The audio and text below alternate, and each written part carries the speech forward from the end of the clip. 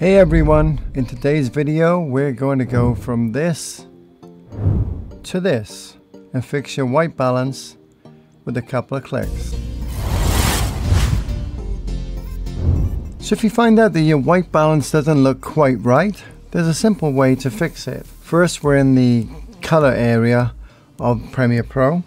Go to the basic panel and just select the white balance selector Look for something white in the image, in this case this white line, and just click on it. If you want to see the before and after, you can see by selecting the FX, turn it off. And this looks okay, but it's a little bit on the warm tone. And now with this selection on, and you can see that Premiere made it more towards the blue and the green to not make it so warm.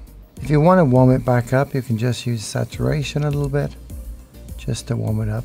And this will start off to fix your white balance. In our second example, we can see that this has a very green tone to it. So you can do the same thing. This happens to look like a white car in the picture. Click your white balance selector and just click on that.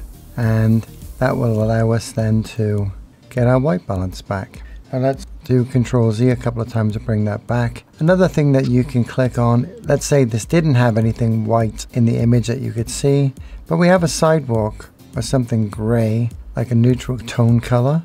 You can use that to select your white balance and get a similar effect. So again, click on the FX and you can see the before and the after.